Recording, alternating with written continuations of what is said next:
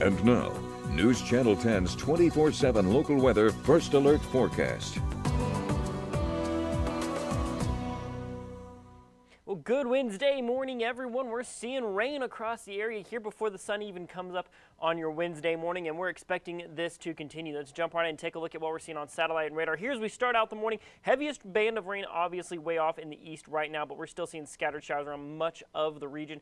Thankfully, like I said, we're expecting those chances to continue for most of the day. So basically how things are shaping up right now, low pressure system tracking in as of this morning. It's centered right over the top of Las Vegas, Nevada. It's bringing in Pacific moisture. We're seeing southeast winds bring in Gulf moisture as well, and that's just keeping that atmosphere really nice and humid out there. We're seeing low level clouds, dreary conditions all day long expected. So looking at water vapor, this is kind of the available moisture in the atmosphere. You can see maybe a little bit of a dry spot there down off in the southwest.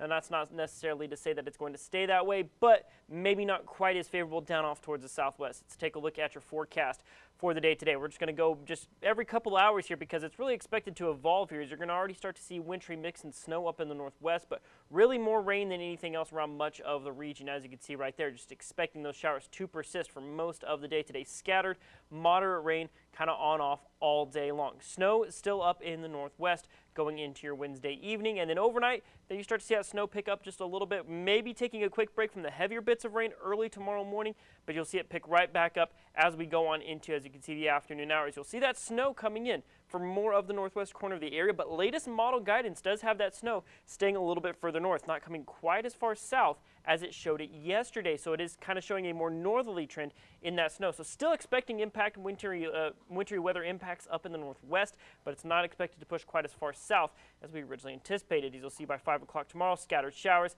snow further up in the north, and then as you can see right there, showers kind of push across the south and the east going into Thursday night before the system generally moves on out of the area going into your Friday morning. Maybe a few lingering showers there. So let's take a look at what we know so far, how things are shaping up. So like I said, model data isn't kind of indicating right now that snow is staying further north. Now, that's not the end all be all. Obviously, that can change, but that's the way things are shaping up right now. Several inches could be seen in our northwestern counties that do see snow.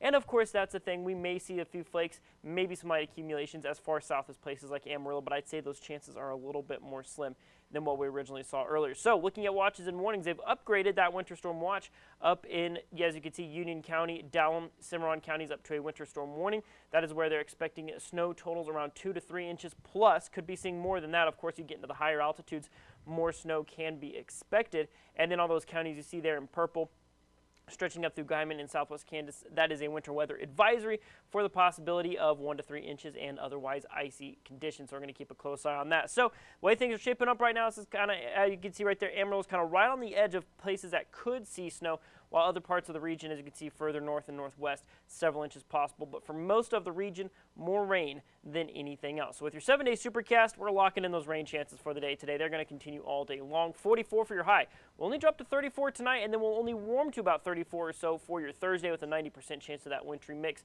Maybe a 20% uh, shot of seeing some lingering showers into Friday, but then we start to see temperatures warm up into the upper 40s and then 60s as you head on into the early parts of next week. Keep it locked here to News Channel 10 for the latest. We're going to be giving you updates all day long with the latest on what you need to know as we're tracking a pretty wet couple of days.